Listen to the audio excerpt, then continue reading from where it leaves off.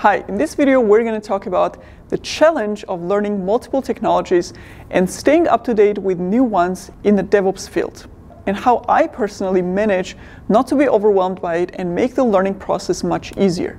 As a DevOps engineer, you need to learn so many tools to even start your job as a junior DevOps engineer. So the minimum entry requirement is already super high, which is logical because DevOps is about creating end-to-end processes for the complete software development and deployment, and there are many tools involved in creating these processes.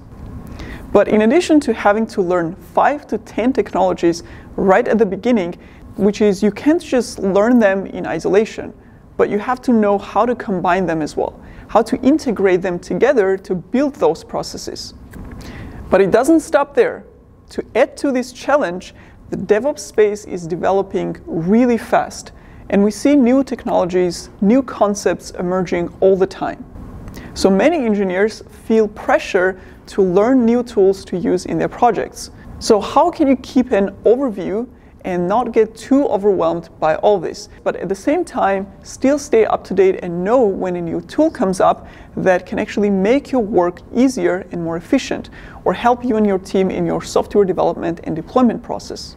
So first of all, when we're talking about developments in the DevOps space, there are two main categories, the concepts and the tools. And it's important to separate them. Concepts are the foundational basis of DevOps processes. They are guidelines to how things should be done. Therefore, understanding the concepts before learning the tools is super important. It's also important to understand that tools are just means to an end. Every tool is there to solve a problem or to serve some purpose. So understanding the concepts helps you know what processes you have, what problems and challenges are in those processes. And when you have that as a basis, then you can start learning the tools that can actually solve those challenges or implement those concepts. To give you some examples, before learning any DevOps tool, you should actually learn the CI CD concept first. What does a CI CD process look like? What challenges does it have? What is its purpose, which is to release application improvements fast and in an automated way to the end users? What does it include? What steps does it have? Like building the application, testing, deploying to development, to staging, and so on. And then you learn the tools that implement this concept and help you achieve its goals. So if you're just getting started in the DevOps field, this will be the first step or the first concept to learn and actually have a video exactly on the topic that you can check out.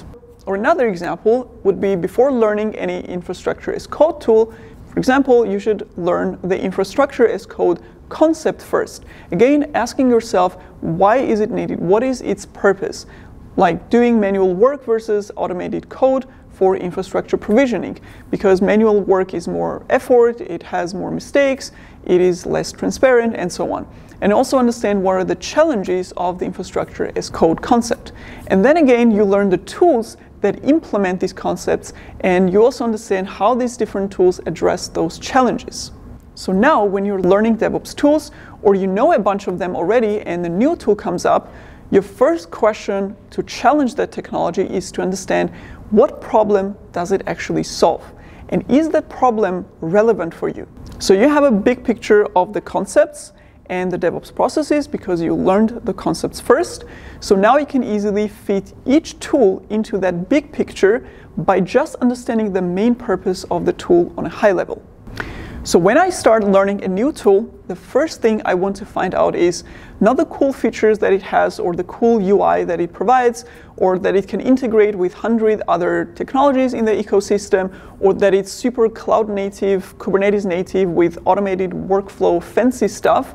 But instead, my first question is what problem or problems does it solve and where does it fit on that big picture of DevOps? The simpler the answer, the better. And there are tools that solve one main problem. But there are also tools that solve multiple problems. In which case, I want to find out which one of those problems are the most important, the main ones. Because a tool is usually good at one or two things, and the rest of the stuff or rest of the use cases are uh, additional bonus features, so to say. So in this step, I investigate the use cases of the tool. Once the problem is clear, then you can evaluate and measure how important or relevant that problem is to decide whether you want to dig into that tool deeper and basically learn more about it. And for already established tools like Kubernetes, Docker, Terraform, and so on, which you anyways have to learn, it's still the first step because you may know that everyone is using Kubernetes and Docker, but you may not know why. And that's the first thing you should understand and find out when approaching any new technology. After that, you can dive in the how the tool solves that problem. There are many tools that address the same issue but in different ways. So if you are learning an infrastructure as code tool like Terraform, you should find out how it does its job. Like Terraform uses state management, it has modules and providers. It uses declarative approach and it has a command line interface with its own commands and how it connects to the cloud platforms that you want to provision infrastructure on and so on. And also how does it compare to alternative tools that you may already know about. So you learn about the core concept of the tool itself on a high level overview. Once I understand the problem and the use cases of the tool, now I know why I'm even learning it. I also understand how it works theoretically, so I know more or less how I could integrate it into my existing workflow processes. So now it's time to get started and actually use the tool, because the confidence comes from practice. And here is a super important thing to understand about practicing a tool hands-on you should always practice with an actual example use case, something you can actually apply in real life projects. So the way I do it is I first define the actual simple but realistic use case with the tool. Because starting with hands-on practice without an example use case can be demotivating and confusing. Let me give you some examples. If you want to learn how to use Docker, just take a simple application and Dockerize it with Dockerfile to learn how this process works. Then think about how you can build and run this Dockerized application. By implementing these simple steps, you will actually learn much more than just randomly learning some concepts about the tool through the official documentation or some blog articles. So you create a use case like I have a basic Node.js application, I Dockerize it, I build it, I build an image, push it to the repository, then I run it and test that the application is accessible. And for each step, you can learn how to do it and what are the Docker concepts related to implementing those steps. Later, you can expand that use case, like you want to add a database connection to your Dockerized Node.js application, and you want to run multiple Docker containers, so you learn about Docker Compose and how to use it. Another example would be if you're learning Kubernetes, again, think of a simple use case. Like you already have a Dockerized application with two other services, so you want to deploy all of them in Kubernetes with multiple replicas. By doing just that one simple use case, you will already learn so much about how Kubernetes works and how to deploy applications in it. And again, you can expand on that use case and add more steps. Or let's say you're learning Terraform as a use case, you may decide to automate a process of creating EKS cluster on AWS or creating an EC2 instance with a security group in a new VPC and so on. Now, of course, you need some resources to be able to learn how to do this, right? I personally go to the official documentation or blog articles and video tutorials to learn how to do each step individually. So specifically on that topic, because it's much easier to find out resources on specific individual steps than just learning about the whole setup. And while I'm implementing that individual step, I also learn all the concepts related to that on the way. Or find tutorials and online courses like ours where the instructor actually guides you exactly through this kind of simple but realistic use case that you can follow along. And again, you can expand on that, finding more advanced use cases at your work or just by yourself and trying to implement those as well. Now, there is another super important thing I want to point out when learning the basics of a tool, especially if it's a tool like Kubernetes or Docker that you know you will definitely need long term in your DevOps career, and it is to have patience while learning.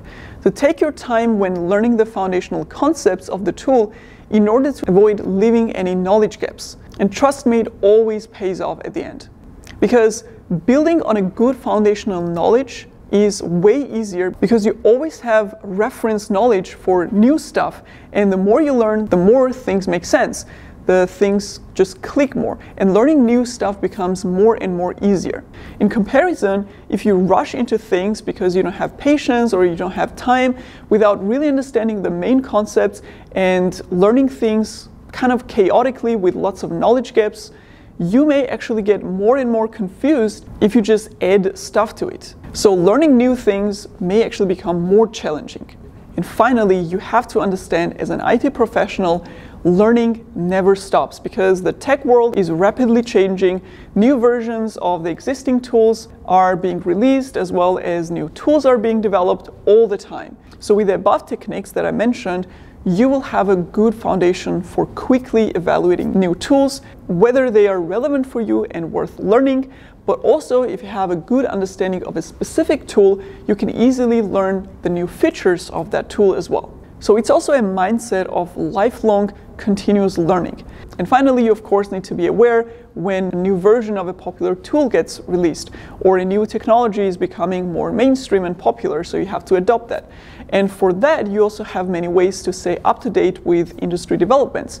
Like you can follow some industry peers on social media accounts or blog platforms that basically post about these kind of new developments. You can join DevOps communities um, either online or offline communities where people exchange this kind of information, or you can also subscribe to YouTube channels like ours, TechWorld with Nana, but also many other channels that make really great DevOps videos on DevOps trends as well, and much more ways like podcasts, newsletters, and so on. So if you're interested, you will find a way to stay up to date.